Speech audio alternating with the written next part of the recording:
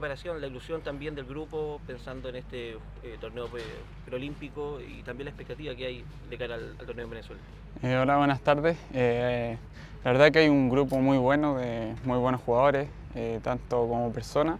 También estamos todos comprometidos con lo que quiere el profe, estamos entrenando a full, estamos muy enfocados, así que haciendo la mejor manera y preparándose de la mejor manera para, llegar de, buena forma hacer, poder ir a competir.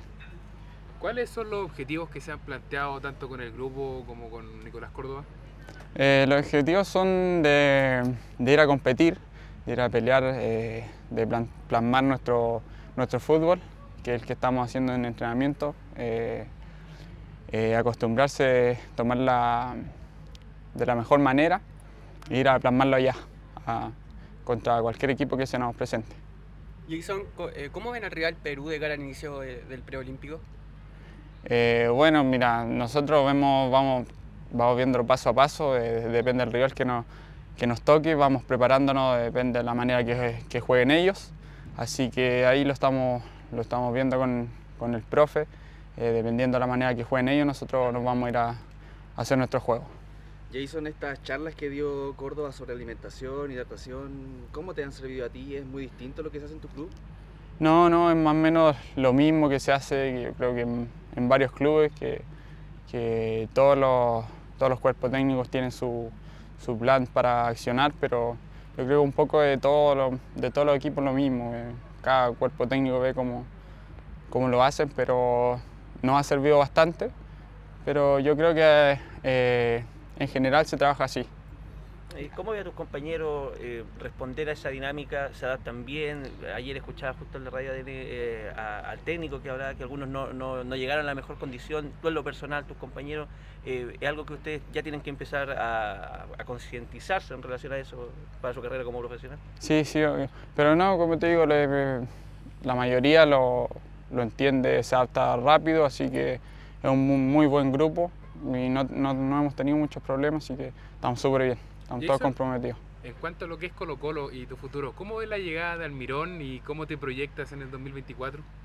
Bien, bien, eh, por el momento, por el momento 100% enfocado acá, lo que es la selección, el preolímpico, y después ya veremos qué, qué, qué se nos, nos, deparará para adelante, pero eh, por lo que hemos visto, el profe que llega ahora llegó a final de la, de, la Libertadores, así que eh, tiene que tener un buen trabajo. Así que, ¿Qué tal no, Bien, bien, mi grupo, bien, súper bien. El, de la competencia. Ah, ah bien, sí. eh, no, bien, bien, sí, pues todos los rivales van a ser difíciles, más en un preolímpico, todos van a ir a, a pelear, así que mm, un rival fuerte, todos los rivales van a ser fuertes y nosotros nos vamos a preparar de la misma manera, para todos. Con respecto al, clima, al que se juega cada tres días, ¿hay algo especial preparado para eso? ¿Cómo lo han conversado, lo han abordado? Eh, mira, no es tanto como algo especial, sino que es prepararse, estar 100% eh, enfocado, como te decía antes, que mientras nosotros estemos, estemos pensando en que va a ser así, que vamos a tener que jugar cada tres días, nosotros desde ya estar preparándonos eh, en todo tipo de, de estar expectantes y preparado. Eh, sobre los grupos, nuevamente te quería preguntar, eh, los rivales de usted, Argentina, Uruguay, Perú, han tenido eh, apretones amistosos, gira internacional. Ustedes han adolecido de aquello durante esta, esta preparación. ¿Cómo sientes tú que podría afectar eso? ¿Es un factor, eh, preocupación? ¿Te gustaría que se juegue algún partido amistoso antes de, de, la competencia? Sí, obvio que, que, no. Yo creo que a todos les gustaría jugar partido amistoso, pero nosotros estamos comprometidos, eh, estamos haciendo un buen trabajo y estamos eh, enfocados eh, en que lo haremos bien, ya sea hagamos partido o no, nosotros estamos plasmando lo que pide el profe y lo estamos haciendo de muy buena manera. Muchas gracias. Muchas gracias. Bueno, Gonza, primero muchas gracios por estos minutos. Eh, la ilusión, queda poquitito, poquitito más de una semana para este preolímpico, donde me imagino que está el objetivo de llegar a, a París 2024. Sí, que ya queda poco, ya queda, van quedando poquitos días para el, debut. Eh, ansioso, ansioso como yo creo como todo el grupo, pero estamos entrenando para eso, estamos preparándonos, quedan días todavía que los vamos a aprovechar al máximo. Tenemos amistosos esta semana, así que si vienen lindas cosas y esperamos llegar el, el día, día del partido, del, del inicio, a la mejor manera. ¿También de amistoso dijiste? ¿Tienen alguno? ¿Le han comentado alguna cosa? Porque no, no han jugado mucho y eso igual como generaba preocupación. Durante la semana, esta semana tenemos, jugamos, jugamos vamos a jugar un, un, un partido, así que ojalá salga todo bien. Eh, vamos a, a, poner todo en práctica lo que hemos hecho, eh, llevamos varias semanas entrenando, así que eso es lo bueno. Con el tema de la alimentación que ayer hablaba Nicolás Córdoba, ¿ha sido muy distinto a lo que es Universidad Católica acá en la selección? Eh, la verdad que la verdad que no, que pasa más, eh, siento yo que pasa más por, por cada uno de, de estar en, enfocado en, en, lo que es su físico, cada cuerpo es distinto, cada entrenamiento del club y acá la selección son distintos porque son distintas competencias también. Entonces al final eh, viene de cada uno más, más individual eh, en, en, el tema de alimentación, de cuidarse, el físico, el estar preparado para pa un partido, para las intensidades que, que ser lo que es Venezuela. Entonces al final siento yo que va, va de uno.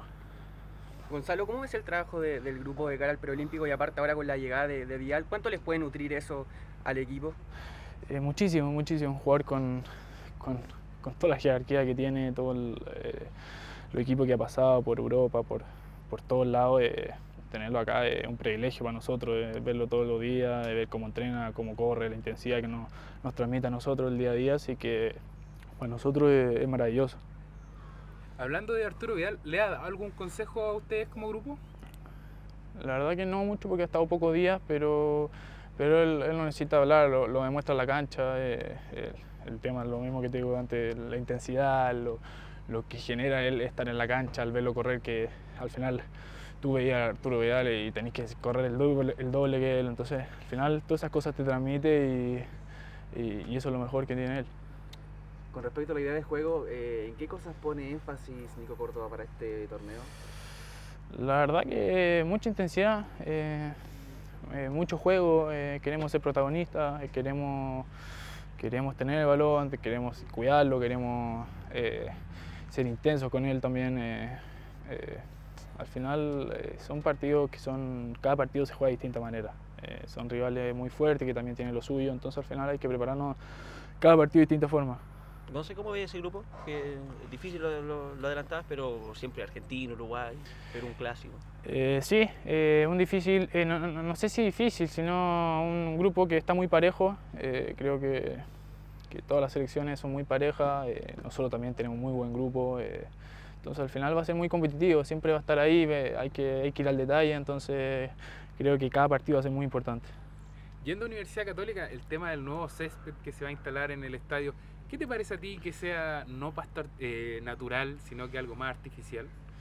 La verdad que, que no me... O sea, nosotros sabíamos de antes que, que iba a ser pasto artificial, eh, pero la verdad que creo que lo que han dicho va a ser un muy buen pasto artificial, entonces creo que no, no va a afectar mucho en el tema del juego, eh, no se va a dañar tanto la cancha, el tema de hartos partidos, de que se juega durante la semana, durante el año. Entonces creo que al final también puede ser por ese lado muy bueno, porque no se va a dañar la cancha y siempre va a estar en buen estado para jugar. ¿Qué te parece el regreso de Nico Castillo a la UC y qué le aporta al plantel, al equipo? Eh, el Nico, no, eh, la verdad que ah, yo siempre lo he mirado, lo he mirado desde chiquitito. Eh, para mí es un orgullo tenerlo ahí, eh, un privilegio que, que, el Nico esté ahí. Me encanta cómo juega, me encanta la forma de que, de que lo hace en la cancha. creo que, que nos va a ayudar demasiado, nos va a ayudar demasiado durante el año, eh, aprender de él y también es muy buen compañero, lo tuvimos un par de meses cuando se estaba poniendo punto y, y nada, eh, creo que, que, lo va a hacer muy bien y le deseo lo mejor. Muchas gracias. Muchas gracias.